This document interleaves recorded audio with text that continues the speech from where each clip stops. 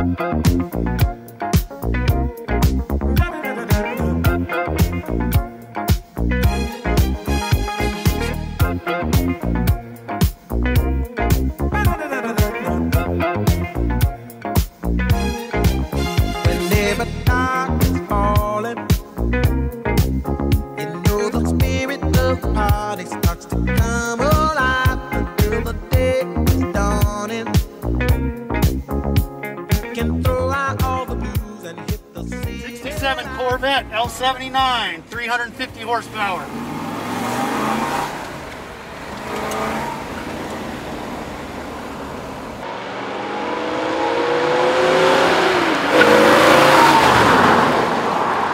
If you're a Corvette guy, it's kind of the universal sports car, the working man sports car.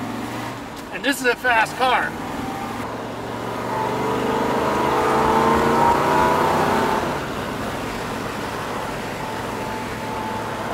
I like this Corvette. It's got a lot more power than I'm used to in some of these old cars. It definitely has a lot of life in this engine.